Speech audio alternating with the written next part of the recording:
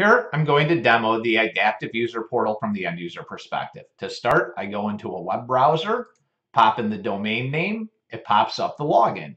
It asks for my username. This is the same username that is my Active Directory credentials. I click Next. You'll see some authentication information. One piece to note is this forgot password, and this will allow me to do password reset to Active Directory. I put in my password. And you'll notice here this authentication method. This is our different multi-factor authentication methods. In this case, I have two set up, one being email, the other being text message. It could be the mobile authenticator, an actual app of ours that goes on a mobile phone. Could be a secret question or a phone call. Now what I will do is I will show my phone on the screen here. I will click next and you'll see a text message come click on the message and the link here, and it'll ask me if I want to approve or deny. Since I know it's me, I click approve. And at this point, authentication is successful and I'm brought into the user portal. Inside the user portal, you'll see I have several apps. Uh, in particular, I have four apps right now, Office 365 and Mimecast. Those are company apps that Idaptive has provided to me those were automatically provisioned. So when I was put into Active Directory, I was put in as a role of sales and the Idaptive service recognizes that and automatically gives me access into Office 365 and into Mimecast because that's something that, that's needed for my job. Now, I am also able to add my own applications in. Now, this is policy driven, but this is something our company allows us to do. So I was able to put in Chase, my bank account, and Fidelity, my, my investment account. So I, I have one-click access into there. So now that we have these different apps within the portal, you can see if I were to click on Office 365, it automatically logs me in. Single sign-on, nice and easy. I no longer have a username and password for that. Now, I mentioned I added these applications myself. The way in which this works is I click on Add Apps. In here, it's going to pull up the app catalog. You'll see there's all sorts of pre-populated apps in here. I can search by them, by name. I can uh, look at them based on various categories. I can um, you know, scroll down on some top popular ones they show. Uh, so let's do this. Let's add LinkedIn. Now with LinkedIn, that is something that isn't provisioned by the company. So you'll see it says username and password. This is something I can add on my own. I'll say, yes, I want to add this. Let's close out of here. And it'll ask a little information. I need to put in my, my credentials because the system has no way of knowing what my username and password on this because it's a, a personal app. So I put in my username put in my password, it's now saved. And then also I can click on this little button and it'll automatically log me in when I, I click onto LinkedIn. Coming back to Office 365, I'd like to highlight AD Federation, where Idaptive has become the central identity provider for logging into the Office 365 environment. We are certainly able to log in coming through the Idaptive portal here, but I could also open up a new web page, navigate to office365.com, and when I go and try to do a sign in here, you'll notice that it already sees who I am and it, it's now pulling my credentials from Idaptive. So I can come here, click on work, and then I can click on Outlook, and lo and behold, it has logged me in.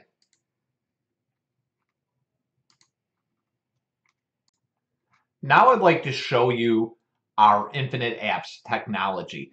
I'm going to move over to a different portal here. And this is a, a Legacy Centrify portal that I have. And within this, I'm going to show you how I can add a new application into the portal that isn't under the apps, uh, the Add Apps tab. So what I'm going to do is I'm going to go to the Idaptive Partner portal and log into this.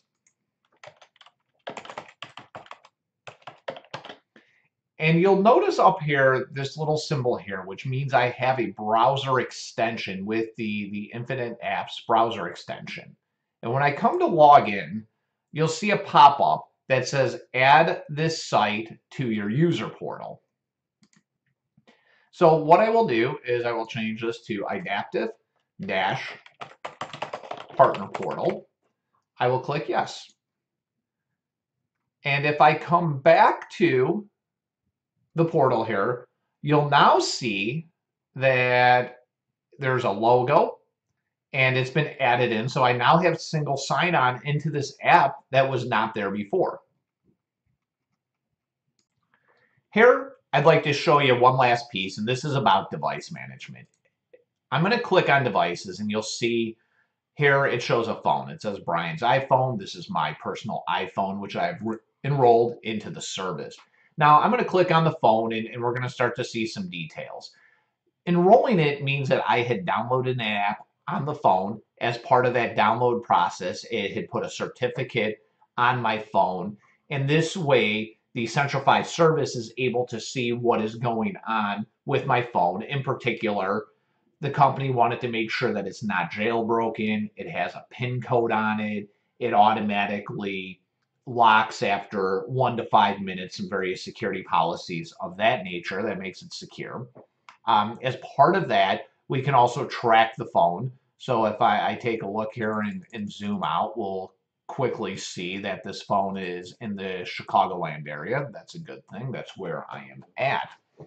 Now, when we enroll a phone, because it is a BYOD phone, something that is a question often asked is, what about the, the user's applications or the user's information. Um, in particular, for me, I would care a lot about pictures. So certainly I don't mind if Centrify were to wipe their information off should I, I leave the company for whatever reason, but I don't want them to take my information. And with that, that is certainly how the, the system works. Now, what we can do is we can come in here and actually perform some actions on this phone. Um, you know, I personally can wipe the device. However, like I mentioned, the company could not wipe the device. Uh, also, if, if I, I wanted to, you know, make sure policies were synced or updated automatically, I could. But what I'm going to do, I'm going to bring my phone back. Uh, let's take a quick look at it. And we can see if I were to click lock screen, I can come in here and it will now do a push because it's under management and lock the screen.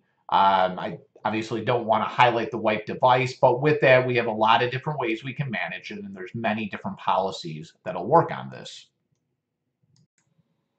Here I'll show you a quick overview of the Centrify app. As you'll see on my phone in the bottom here, I have the app. I can click on that. It'll pop up and you'll see all of my application tiles preloaded in here. At this point, I can click on an app. We'll use Salesforce as an example and with one click, I have full sign-on, no need to ever enter a username and password again. Now, as part of this, we also have our mobile authenticator. Generally, the way when you're logging in off a, a computer or a laptop, you'll get a push notification to your phone, but you also have the ability to do a one-time passcode, which you can either click on in the app here, or I could enter in that eight digit password that, that changes every 30 seconds as you just saw there. Now, what else we have this works out rather nice is sometimes it makes a lot of sense to access a web application by clicking on it and going straight through the web page. Other applications don't work quite as well through the web page on the phone. Uh, a great example of this would be Concur. If I were to go into Concur, I can certainly log into it by clicking on the tile and going in through the, the web browser. But if I was trying to do expenses or something of that nature, not a great way to do it. So you're still able to put uh, certain native applications as configured by IT on your phone. And if you come in here, you'll see I have my Concur app. I can click on that. And what's happening is it is pointing to Centrify as a central identity provider and now I'm logged in and I, I could do something like take a, a picture of a, a, receipt or whatever I was looking to do. Now what starts to become rather nice at this point is you have a true zero sign-on experience where I'm never putting a username and password again and things authenticate across different platforms. So as an example, assume I was sent a text message here where I was sent a, a text for a Dropbox account.